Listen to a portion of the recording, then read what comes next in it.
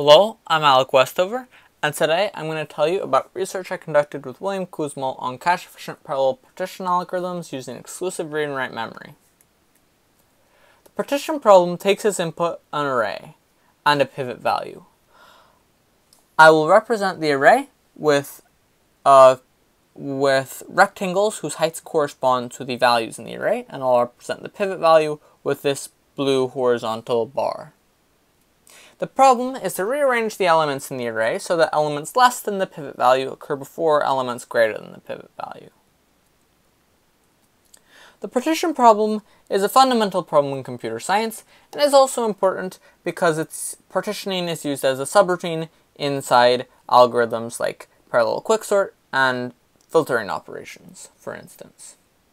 Solving partition in serial is trivial the problem we worked on is making multiple processors work together to efficiently partition an array.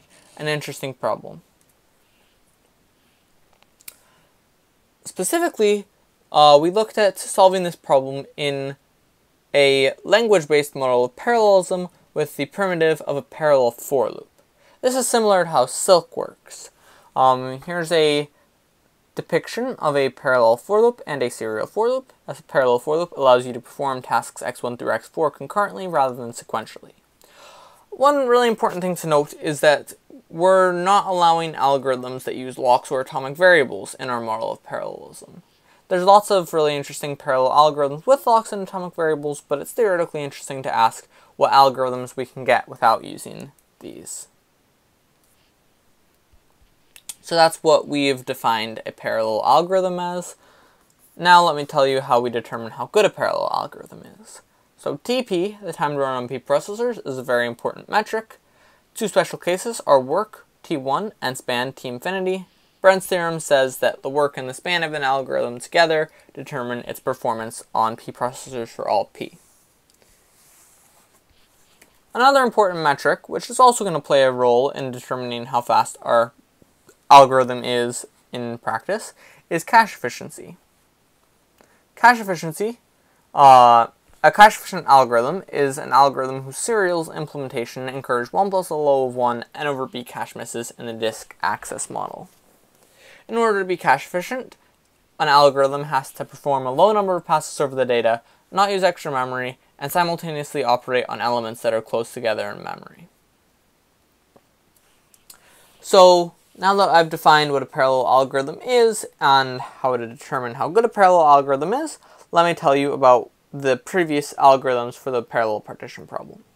There's a very well-known algorithm called the standard, uh, which we call the standard algorithm for this problem. It has theoretically amazing span of log n. Unfortunately, it's slow in practice. This is because it uses extra memory and makes multiple passes over the data. So this is bad cache behavior. On the other hand, we have algorithms that are fast in practice. There's lock-based and atomic variable-based algorithms that are fast, but we're not considering these. They're not in our model of parallelism. There's also the strided algorithm. This algorithm has no lock, doesn't use locks or atomic variables, and has great empirical performance. Unfortunately, it lacks theoretical guarantees. So this leads to our question.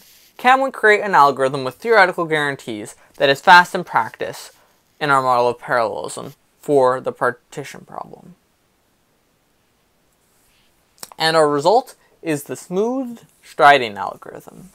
We created an algorithm with three key features. First, it has linear work and polylogarithmic span.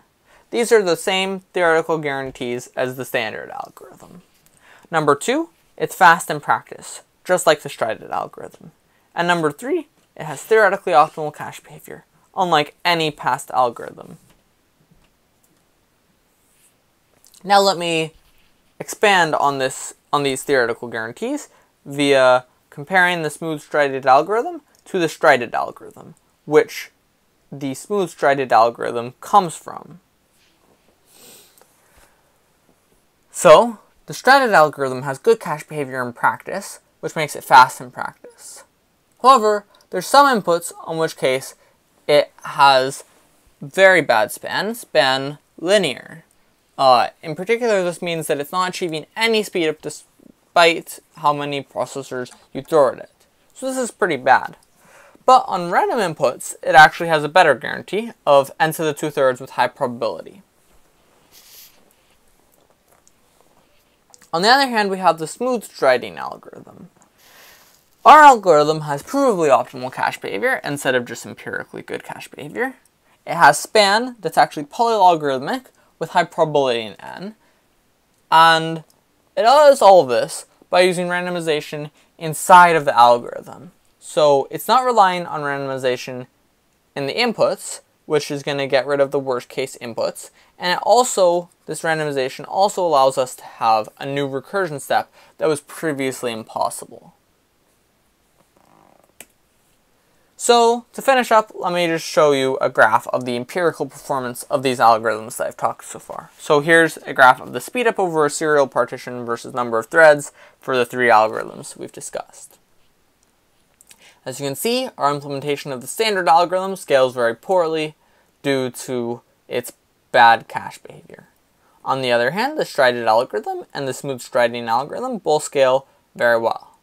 The strided algorithm performs slightly better than the smooth striding algorithm.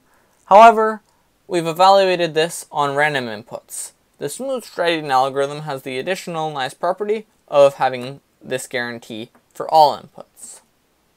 So, if you're interested in hearing about our cool application of randomization inside this algorithm, please check out our paper. Thank you.